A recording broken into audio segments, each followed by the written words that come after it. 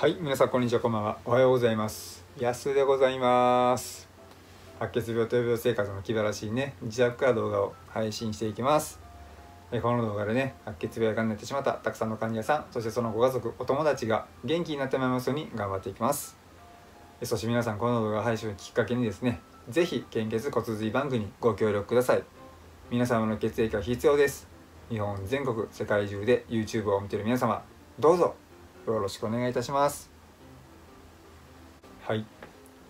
えー、連日ですねあの 皆さんを恐怖に陥れてしまうんではなかろうかと思うその血液の怖い話をしてたんですけどもね、まあ、そんな血液のね異常をね改善できるかもしれないよという話をね今日はねしていくんでね今日はねあのいい話です。怖くない話ですよ。あの高血圧の改善にねお酢が効くとねよく聞きますよね。まあ、血圧が高い動脈硬化が心配だなとねそんなね中高年っていうのはですね、まあ、この年始からねだらだらと過ごしていくのではなくてですねお酢でね体質改善にね乗り出してみてはねいかがでしょうかね。まあ昔からなんとなくそのお酢は体にいいよなんてね言われてきた、まあ、このお話なんですけどねまああながち間違いではないんですよ、まあ、取りすぎにはね注意せなあきませんけどもね今まだ注目され始めていますショックス研究のね第一人者でね東京農業大学のね発酵食品学の教授がねこう言ってるんです。お酢の健康効果っていうのは昔から様々伝えられてきました。それが科学的に解明されて長期にわたって取り続けることでね得られる素晴らしい効果について分かってきました。と指摘しています。でその一つがね血圧の上昇をね抑える効果なんですよね。厚生労働省のね国民生活基礎調査これ2019年の分なんですけどねそれによるとですね通院する割合が高い疾患は男女ともに高血圧症がね最も高かったそうです。しかもね国民健康栄養調査報告書ではですねこれ2014年の分なんですけどもねそれによるとですね75%以上の男性で74%女性で70%とねその年齢が高くなるほど高血圧患者さんがね増えることもね分かっています。その状態の改善にねお酢が役立ちそうなんですよ。お酢のねあの酢酸にはですね血圧上昇に関わるホルモンの調整機構をね穏やかに抑制する働きがあります。それと同時にですね酢酸代謝のね過程で生成されるアデノシンっていうのがね血管拡張をね引き起こすことでね血圧がねあの硬化するものなんですよ。実際に血圧が高めのね成人男女にね1日大さじ1杯のねお酢をねあの10週間毎朝摂取してしまったところですね。平均で最高血圧と最低血圧がともに下がったというね研究結果があります。最もお酢の効果っていうのはですね高い血圧を下げるまでで正常な人の血圧までは下げないのだそうです。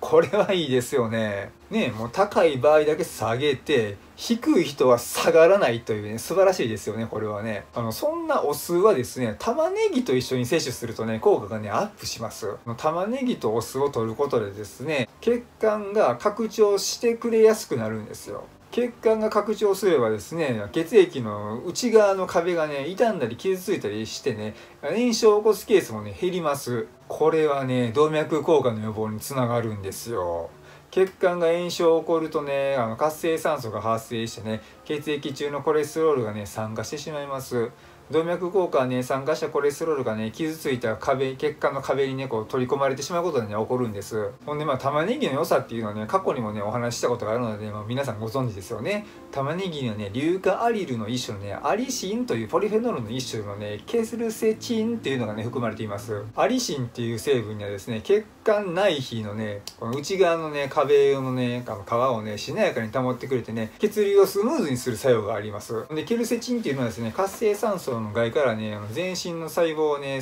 健やかにね保つ作用がね認められています。ただしねアリシンはですねあの熱にね弱い性質があるんですよ。なのでね加熱したらね分解されてしまって機能しなくなるんです。まあなのでね玉ねぎ食べる時はねあのスライサーで薄くささささとねスライスしてもらってねでその上にあの鰹節をパラパラっとかけてね、まあ、お好みのドレッシングかけてもらってそこにねお酢をねパッと垂らしてもらってね食べることをおすすめします。これは美味しいですよね。あのまあお仕事が始まってね新年会でね出ていくことが難しいこの機会にですね是非リモート飲み会のねおつまみとしてねやってみてください。そんな感じでね高血圧にはお酢というお話でございました。今日は以上です、